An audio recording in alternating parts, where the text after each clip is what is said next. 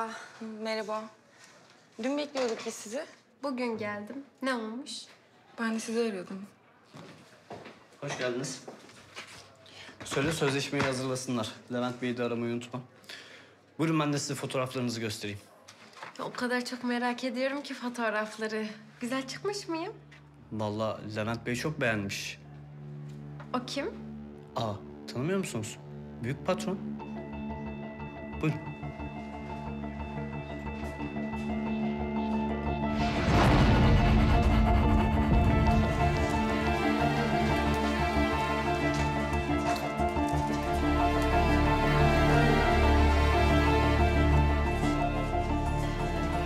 Boşuna bekleme.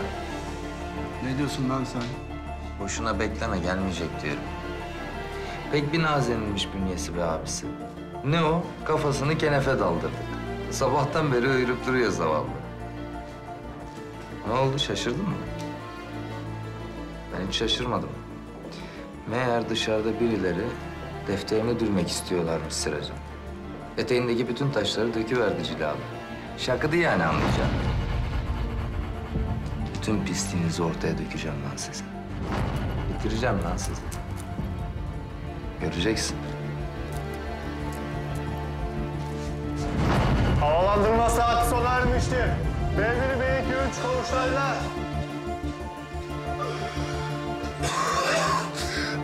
Lan Cilalı!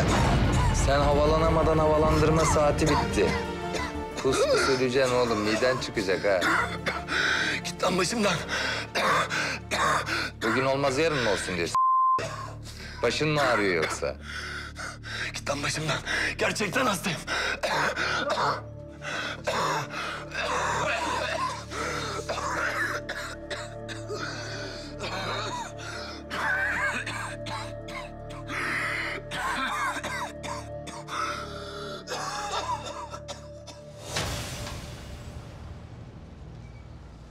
Geç bana.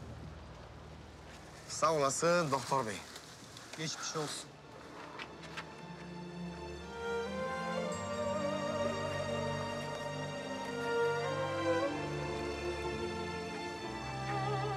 Sağ ol doktor bey.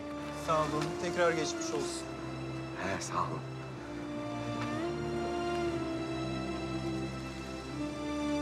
Hadi baba. Geçelim bize.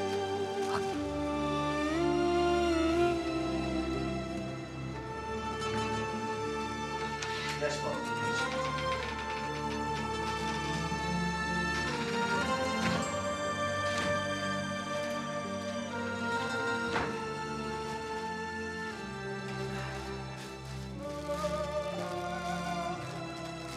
Kaç para kaldı baba?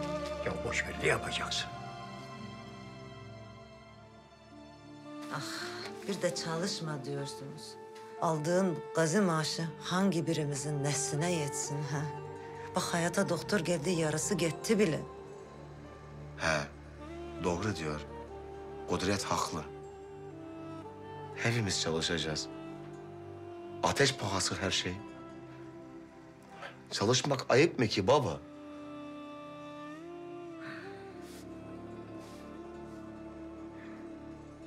İyi çalışsın o zaman. Sağ ol baba. Ya tamam tamam ya uzatma.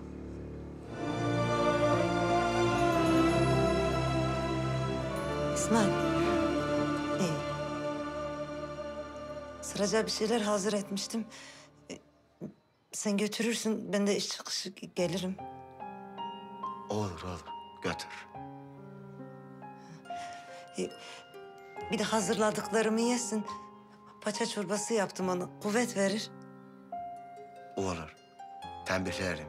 Gerekirse kendi ellerinle yediririm. Sen hiç merak etme. Sağ ol İsmail.